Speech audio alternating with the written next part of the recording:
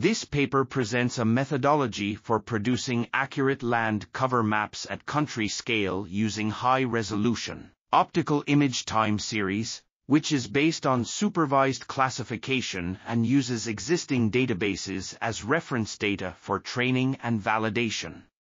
The approach uses all available image data, a simple pre-processing step leading to a homogeneous set of acquisition dates over the whole area, and a robust supervised classifier.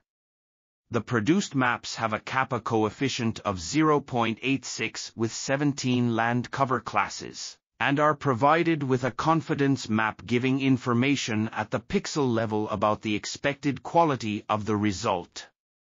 The processing is efficient, does not need expensive field surveys or human operators for decision making, and uses open and freely available imagery.